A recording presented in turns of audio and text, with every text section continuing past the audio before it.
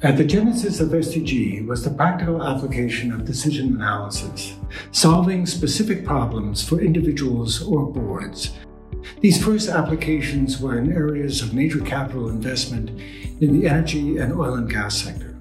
When clients saw the impact of SDG's process on tackling specific problems, that opened the doors for tackling more complex challenges.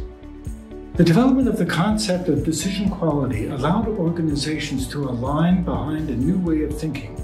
We were then able to optimize complete portfolios involving people across diverse business units. The desire to avoid decision traps and biases and achieve decision quality fueled interest in diverse industries, ranging from financial services to healthcare in applying our ideas.